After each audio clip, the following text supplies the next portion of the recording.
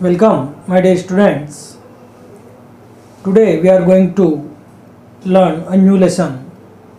The name of the lesson is Quality. Okay आज हम नया चैप्टर स्टार्ट कर रहे हैं चैप्टर का नाम है क्वालिटी ओके ये चैप्टर जो है हमको एक बहुत बड़ी सीख दे के जाता है एक डेडिकेशन एक मोटिवेशन बहुत सारी क्वालिटी यहाँ पर जो क्वालिटी वर्ड यूज़ किया गया है वो आजकल के ज़माने में बहुत ज़्यादा सूट होता है। क्योंकि आज आप देखिए मार्केट में कितनी सारी चीज़ें मिलती है। लेकिन क्या सभी चीज़ें क्वालिटी की मिलती नहीं। बहुत सारे एडवर्टाइजमेंट करती कंपनियाँ आप कहीं पर कुछ सामान लेने जाते हैं। तो एडवर्टाइजमेंट पे इतना पैसा खर्च हो रहा है कि उस चीज़ की क्वालिटी उतनी बेस्ट नहीं मिल रही सिर्फ़ एडवर्टाइजमेंट हो रहा है। सो so, इस चैप्टर में narrator so this quality is a chapter और इसके ऑथर है जॉन गर्ल्सवर्दी ये जो ऑथर है जॉन गर्ल्सवर्दी इन्होंने बहुत ही अच्छे तरीके से इस चैप्टर को नरेट किया है। सो हम यहाँ पर, इन्होंने इन्हीं की दृष्टि से इनको हम नरेटर बोलेंगे। सो नरेटर ने नरेटर मीन्स हमारे ऑथर ठीक है, इस पॉइंट के, इस लेसन के जो ऑथर है क्वालिटी के जॉन गर्ल्सवर्दी जो कि नरेटर हैं, इन्होंने देखा सबसे पहले चैप्टर की स्टार्टिंग में एक क्वेश्चन उठता है कि क्या क्या ना शू मेकर भी कोल्ड एन आर्टिस्ट एक जो जूते बनाने वाला जो व्यक्ति होता है, क्या हम उसको एक आर्टिस्ट बोल सकते हैं? और shoe maker can be artist क्या एक शू मेकर एक आर्टिस्ट हो सकता है? हो सकता है। इस चैप्टर में देखिए, ये कहानी शुरू होती है मिस्टर गेस्लर नाम के दो व्यक्ति गेस्लर ब्रदर्स उन्होंने उनके शॉप के ऊपर क्या नाम लिख रखा है? गेस्लर ब्रदर्स दुकान पे कोई ज़्यादा शो शार्ट नहीं है। उनकी जो शॉप है उसके ऊपर एक बोर्ड लगा हुआ है बोर्ड पे गेस्लर ब्रदर्स लिखा हुआ है। सो मिस्टर गेस्लर जो है वो जर्मन शू मेकर है और वो सेटल्ड इन लंदन वो लंदन में सेटल्ड सेटल्ड हो गए हैं जहाँ पर उन्होंने अपनी एक शॉप बनाई है। और ये जो नरेटर है ये फोर्टीन की एज से फोर्टीन ईयर्स की एज से ही जब इनके पिताजी इनसे जूता बनाना जा, बनाने जाते थे तब से ही इनको पहचानते हैं। ठीक है? सो इनमें ये जो गेस्लर ब्रदर्स है they are two brothers one is elder brother another is younger brother ठीक है? सो नरेटर जाते हैं इनके पास शूज़ के लिए। इनको एक अच्छा खासा शूज़ बना के देते हैं। तो कहानी में ऐसा बताया गया है कि जब नरेटर जाते हैं तो ये बोलते हैं कि मेरे शूज़ में कुछ दिक्कत है। तो ये जो मिस्टर गेस्लर होते हैं गेस्लर ब्रदर्स ये बोलते हैं कि ये जो शूज़ है, ये हमारे यहाँ का नहीं है, क्योंकि मैं मेरे शूज़ को जब बनाता हूँ तो उसके कोने कोने में उसकी हर जगह मुझे पता होती है ये शूज़ हमारे यहाँ का नहीं है, लेकिन इसमें जो भी दिक्कत है, मैं उसको दूर कर सकता हूँ। और अगर ये दूर नहीं होगा तो मैं आपके सारे पैसे रिटर्न कर दूँगा।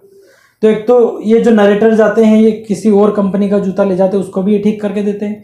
दूसरी चीज़, वहाँ से जब नया जूता जब ये देते हैं गेस्लर ब्रदर्स तो उसको बहुत ही क्वालिटी बहुत ही शार्पनेस और बहुत ही फैसिनेटिंग वे में बना के देते हैं।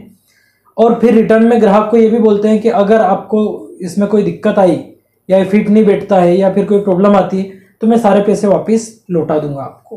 ठीक है? सो बहुत ही बेस्ट क्वालिटी से बहुत ही ज़्यादा मेहनत करके गेस्लर ब्रदर्स शूज़ बनाते हैं।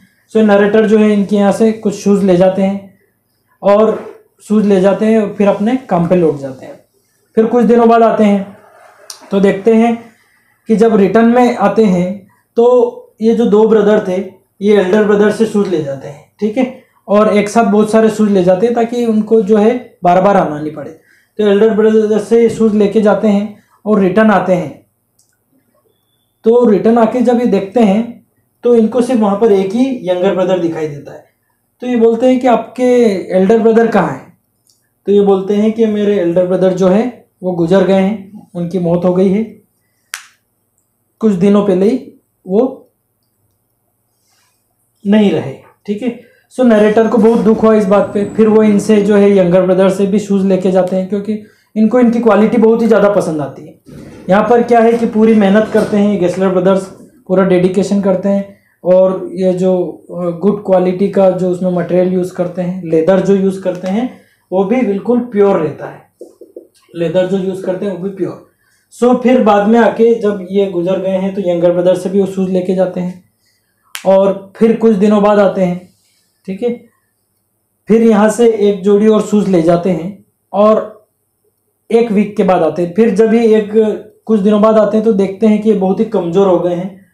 तो इनसे बात करते हैं कि आप इतने वीक हो गए हो, क्या दिक्कत है शूज़ का?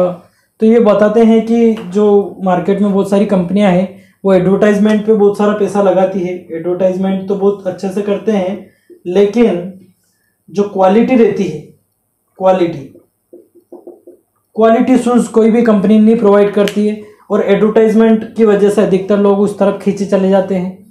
तो ये यंगर ब्रदर ने नरेटर को बताया कि ये ये प्रॉब्लम है और ये बहुत सारी कंपनियाँ हैं, पैसा भी बहुत सारा वसूल करते हैं, बहुत ज़्यादा, कई गुना ज़्यादा पैसा लेते हैं और उस, जो पैसे की क्वालिटी उस क्वालिटी के हिसाब से आपको मटेरियल आपको शूज़ और आपको प्रोडक्ट भी प्रोवाइड नहीं करते हैं। तो नरेटर को काफ़ी दुख हुआ, ये एक शूज़ लेके एक पेयर और लेके जाता है। कि आप मुझे एक और दे दो? मैं आपसे सारे पहले भी खरीद के गया था, दो बार। एक बार और लेके जाता है। जाता है। उसके एक वीक बाद फिर लौट के आता है कि इतने बढ़िया क्वालिटी के शूज़ बना के दे रहे हैं तो क्यों ना मैं ग्रेटिट्यूडियन उनका धन्यवाद अदा करने के लिए ये नरेटर फिर से इन गेस्लर ब्रदर के यहाँ पर जाता है। तो ये जो शॉप है इनके बाहर, इस शॉप के बाहर जो पहले गेस्लर ब्रदर्स का जो बोर्ड लगा हुआ था, अब इस बार वो बोर्ड भी लगा हुआ नहीं है। वहाँ बोर्ड भी नहीं है। जब ये नरेटर जाते हैं वहाँ पूछते हैं तो वहाँ एक व्यक्ति निकलता है कि हाँ आइए आपको क्या काम है?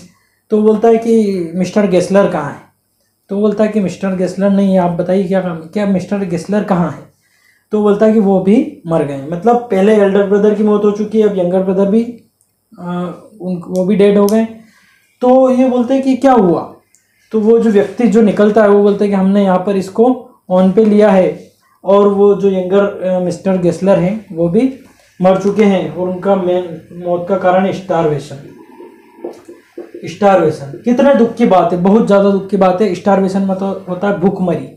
यानी ये जो गेस्लर ब्रदर थे, इन्होंने बहुत ज़्यादा डेडिकेशन के साथ इतना काम किया, ये क्वालिटी का लेदर लाते थे और पूरी मेहनत से बनाते थे और इतना बनाते रहते थे कि वो खाना भी ढंग से नहीं खा पाए, उनकी रोजी रोटी भी नहीं चल पाई. क्यों? क्योंकि उनका सारा जो पैसा जो आता था, वो या तो लेदर में या फिर रेंट में चला जाता था. अच्छी क्वालिटी का लेदर लाते थे या रेंट जो उनके शॉप का था, उस पर चला जाता था। तो इसलिए जो भुखमरी के कारण ये यंगर ब्रदर भी ख़त्म हो गए।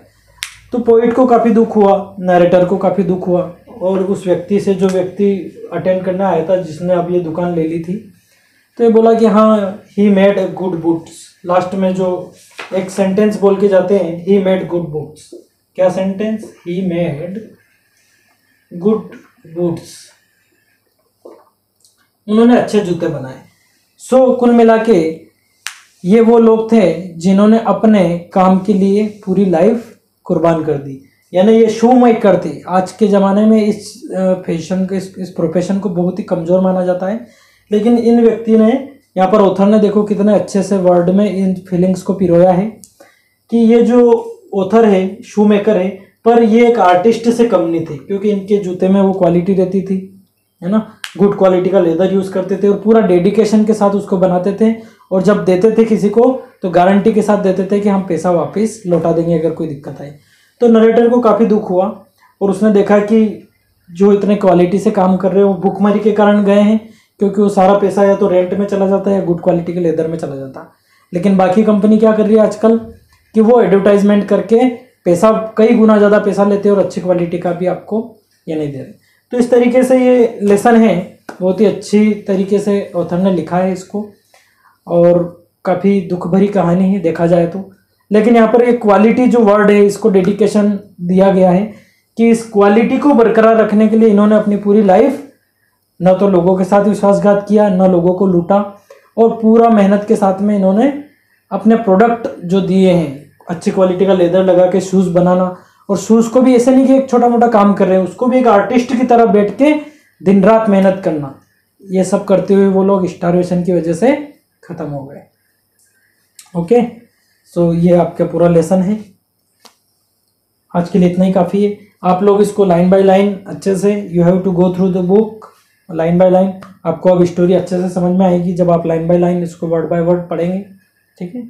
Okay bye